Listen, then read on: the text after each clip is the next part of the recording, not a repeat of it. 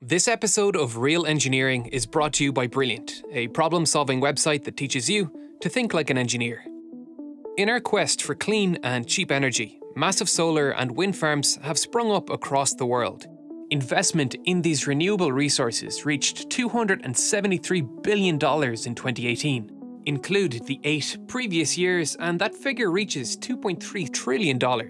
This is positive news for most, but many have been left asking why not nuclear?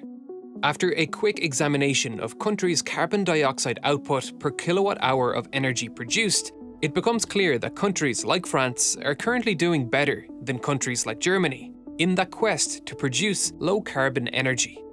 France, with 61% of its electricity generation from nuclear, is producing just 32 grams of carbon dioxide for every kilowatt hour produced, where Germany, a country that has invested billions into wind and is gradually closing down all its nuclear power plants and replacing them with natural gas plants and wind energy, is producing 318 grams of carbon dioxide for every kilowatt hour. It's perfectly understandable why many advocate for nuclear energy over renewables. Wind itself releases less carbon dioxide for every kilowatt hour of energy it produces at about 11 grams just under nuclear's 12 grams per kilowatt hour. But because wind is intermittent, it needs to be propped up by some form of power production that can quickly ramp up and produce electricity when the wind falls, and natural gas is the perfect solution for that, at a reasonable price. So, in reality, wind isn't competing against nuclear energy, at least not directly. It's competing with larger, baseload power stations like natural gas, and to see why it's losing that battle, we need to dive into the world of economics to see why countries and investors are shunning nuclear energy. When choosing where to invest money in infrastructure, there are several factors you need to consider. Risk, potential gain, and the time it will take to get a return on investment are the most important. This is an extremely simplified example of a return on investment calculation for two power plants, a 1000 megawatt nuclear power plant and a 1000 megawatt natural gas power plant. This calculation is based on the wonderful video on the Illinois Energy Professor YouTube channel, which I will link in the description below. When making this kind of calculation, we have a few variables we need to consider, the cost of construction, the fuel cost, and the construction time are the biggest variables that differ between the two energy sources. The average cost of construction for a nuclear power plant is a difficult number to pin down. The number varies widely from project to project, ranging from 5,500 per kilowatt to 8,100 per kilowatt. We will assume a lower price of 6,000 per kilowatt, resulting in a price tag of 6 billion for a 1000 megawatt nuclear power plant. Natural gas, on the other hand, is one of the cheapest types of power plants to construct, with a cost of about $920 per kilowatt. So, a 1000 megawatt power plant would cost 0.92 billion. But let's just round that up to 1 billion for simplicity's sake. Now, I know you already see the problem. Natural gas is just cheaper, and it's going to take the nuclear power plant longer to recoup that cost. This becomes even more of a hare and tortoise race as a result of the construction time of each. The average nuclear power plant takes six years to construct, whereas your typical natural gas power plant takes about two years to construct. This becomes a particular issue when borrowing and interest rates are involved. We are going to assume an interest rate of 3% and a repayment term of 25 years for both plants, and both will borrow in $1 billion increments. $1 billion on a 25 year repayment plan at a 3% interest rate equates to a $56.7 million payment every year. Here, we will borrow an idea from the Illinois Energy Professor and illustrate profit and loss with blocks. Below the x-axis, these blocks represent debt. Above the line, they represent profit. We will place nuclear's profit and loss on the left side of the graph and natural gases on the right. Each full block unit, like this, represents $56.7 million. These blocks can be partially filled to represent smaller fractions. We are using this to bring the vast quantities of money involved into a more human scale. Let's begin. In the first year of construction, both plants will generate one unit of loss, as both borrowed 1 billion. In the second year, the nuclear power plant borrows another billion, so it now owes the bank double the repayment.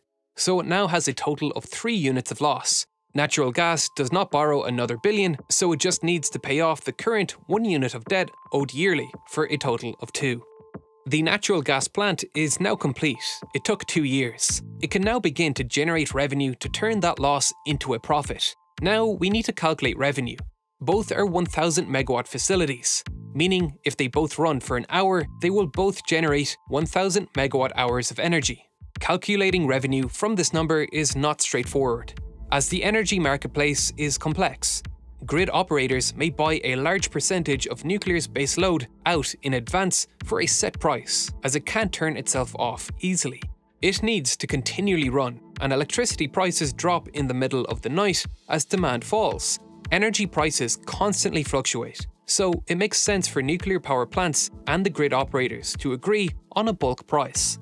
Whereas the natural gas plants can operate as peaking plants, shutting down during the night and only operating during the evening when electricity demand and prices are at their peak, allowing them to fetch a better price for their electricity, thereby losing less money on operation and maintenance of their plant and getting the maximum profit out of their fuel spend. Factor in transmission costs as energy is lost to power lines, taxes, and all the other messy factors, and it becomes even more difficult to calculate earning figures. This calculation will be inaccurate. We will make a massive assumption and assume they will both earn the same amount at 525 million a year after all these deductions are made. So, in its third year, the natural gas plant will have a revenue of nine and a quarter of these blocks, after our loan repayment, that will be eight and a quarter blocks of profit. But there is another large deduction we need to consider that differs greatly between these power plants fuel costs. Here, nuclear has one big leg up. Its fuel is relatively cheap, just by virtue of only needing a very small amount in comparison to natural gas. A single uranium fuel pellet with a diameter of an AA battery has the potential to release the same amount of energy as one ton of coal or half a ton of natural gas. A little goes a long way. To run the 1000 megawatt facility for an entire year, you would need about $64 million worth of fuel, or 1.1 currency blocks. To produce the same amount of electricity, the natural gas facility would need about $450 million worth of fuel, or 7.9 currency blocks. These prices will also fluctuate, but again, this calculation is simply for illustrative purposes. So, once up and running, the nuclear power plant can produce more electricity for less money. Factoring that in, the natural gas plant will make $525 million of revenue, deduct both loan payments and fuel costs, and we are left with about one third of our currency units of profit. On to year 3. The nuclear power plant borrows another billion, and so now owes 3 units of loan payments for a total of 6 in loss. The natural gas plant, however, makes one third of a unit, which is removed from our loss. Year 4. The nuclear power plant borrows another billion and adds 4 units of loss. The natural gas plant removes another one third of a block. Year 5. Nuclear borrows another billion and adds 5 units of loss. The natural gas plant removes another one third of a block. Year 6, nuclear borrows its final billion and adds 6 units of loss. The natural gas plant removes another one third of a unit. Finally, the nuclear power plant is finished and will begin generating revenue in year 7. Deducting the loan payments and fuel costs leaves us with 2.2 units of profit. Even with the huge loan repayments, which will be paid off completely in 24 years. The nuclear power plant is making far more profit per year, but it has a long way to go in reversing this loss. Year 7, Year 8, the natural gas plant has now broken even. Year 9, Year 10, Year 11, Year 12, Year 13, Year 14, Year 15, Year 16. The nuclear power plant has now broken even and even made a profit. Year 17, Year 18, Year 19, Year 20. Okay, you get the picture. Over the long term, the nuclear power plant is insanely profitable, but the risk involved in reaching that profit is huge. Politicians and investors alike are hesitant to put their money on the line when six years in, there is $1.2 billion of loan repayments made, with no revenue on the books. With the first six years of loan repayments alone, you could have built another natural gas plant. That's insane. Did the company take out another loan to pay for the loan payments? Financing these things is difficult. Getting that money from politicians is hard too, because most politicians aren't going to think about long term energy strategy. Because something that won't start producing electricity for six years and won't turn a profit for 16 is not in their interest. They will need to be voted back into office before then. Factor in that nuclear power plants have a terrible track record for running not only over budget, but over time, resulting in an even larger run into negative before revenue begins, and nuclear energy just becomes a really difficult investment to justify. That's why they are falling out of favour before even discussing the safety issues. Looking at these numbers, you would never expect a nuclear power plant operator to decide to shut an operational plant down. Yet, that's exactly what's happening in many places. Take the Diablo Canyon Power Plant in California. This power plant is run by Pacific Gas and Electric, a company with a diverse portfolio of energy generation hydroelectric, nuclear, natural gas, and renewables. They are an investor owned and publicly traded company Maximizing profit is their prerogative. Yet, they have decided to close down the Diablo Canyon nuclear power plant in 2024 when its 40 year license expires. Why would they do that? Well, that's complicated. First, in order to renew their license, they needed to modernize the entire facility at a cost they deemed too high.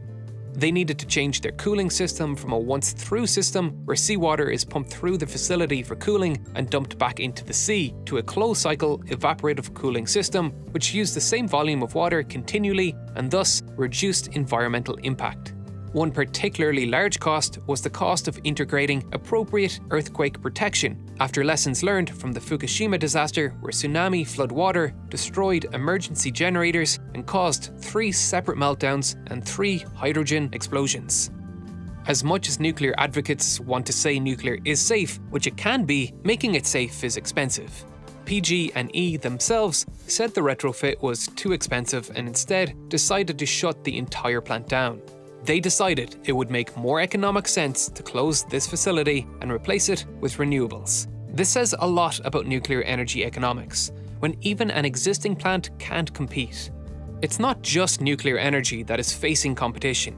Three hours north of Diablo Canyon, natural gas turbines were retired and replaced by battery storage. That's because California is producing so much excess solar energy that buying it and storing it in batteries to sell later makes economic sense. The energy marketplace is a complex machine, and no one size fits all approach can be used. We can get a clearer picture of these costs with an analysis method called Levelized Cost of Electricity, or LCOE. The levelized cost of electricity attempts to give a simple, comparable number that represents the cost a power plant will need to charge for a unit of energy in order to recoup its cost over the course of its lifetime. The equation looks like this, but putting it simply, it's the sum of costs over the lifetime of the plant divided by the total quantity of electricity that plant will generate and sell in its lifetime. Here, we can see that onshore wind, photovoltaic solar power, and combined cycle natural gas are by far the cheapest forms of electricity, and this is the real reason they are gaining larger market shares. For nuclear to rise to prominence once again, it needs to evolve. It needs to compete with the role natural gas is filling it needs to be smaller, cheaper, and safer. Ideally, the reactor should be dispatchable, meaning it can turn itself on and off so it can fit neatly into modern grids with high percentages of renewables. That's a difficult problem to solve, but people are working on potential solutions that could make nuclear energy competitive once again. We will discuss some of these solutions in future videos. Every 45 minutes, as much energy falls on Earth's surface as all of mankind uses in a year. We now have a way to capture that energy efficiently. Now we just need a way to fulfill our energy needs at night. Ensuring those in power make the right decisions requires voters who understand the energy market and solar technology platforms. A good place to start is Brilliant's excellent course on solar energy. It teaches you how much energy is available to extract from sunlight based on where you are and the composition of the atmosphere. Then, you'll learn the thermodynamics and semiconductor concepts that enable the two main kinds of solar energy platforms solar thermal power and photovoltaic cells. By the end of the course, you'll have a solid grasp on the relevant physics and a clear picture of how light beaming from the sun ends up as an electrical current streaming in your device.